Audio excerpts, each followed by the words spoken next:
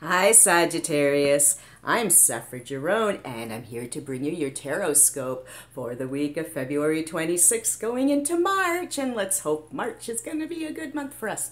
Anyway, Sagittarius, you have the Eight of Wands. So, are you running around like a chicken with your head cut off? Because um, this card is all about rush, rush, rush, rush, rushing everywhere. And, you know, Sagittarians are always rushing around anyways. They are a wand sign, they're a fire sign. And you, Sagittarius, you love to be busy, you love to have your finger in many pies, and you often have a couple of careers going on. Um, I know the Sagittarians that I know personally, they got all kinds of things going on, including my dad, who should be retired and hanging out, but he's composing every day still, and he's in his 80s. So, busy, busy people, the Sagittarians.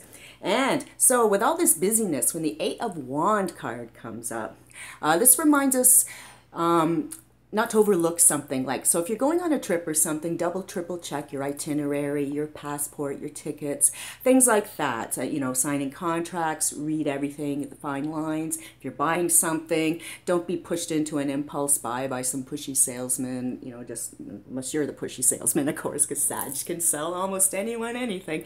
Anyways sag this is a fantastic card. Boom boom boom things going fast. And so just don't forget to double check things okay? So it doesn't get lost in the shuffle and you end up at the airport without your passport. Okay? Anyway, Sag, have a great week and we'll see you next week. Bye for now.